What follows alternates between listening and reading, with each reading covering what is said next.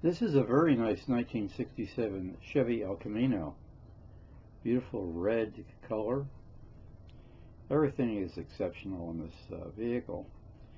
Now, uh, we can't see the engine here, but uh, presumably it's the uh, 5.4 liter 327 cubic inch uh, engine, V8. A very nice interior, cloth and vinyl. Nice steering wheel, looks like it has cruise control and air conditioning.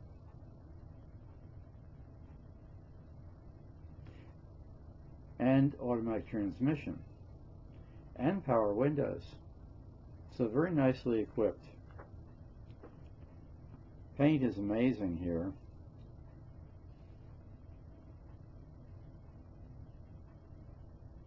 Not a blemish.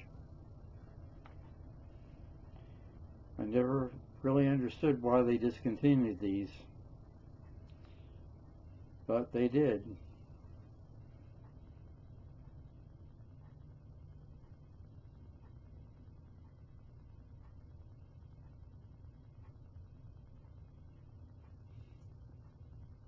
just the thing that you could use for the occasional errand.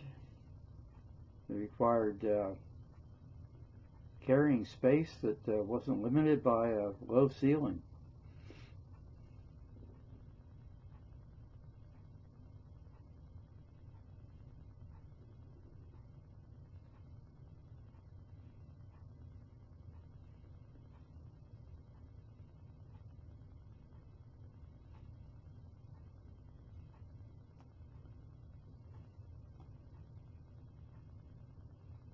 And the back end. Very nice.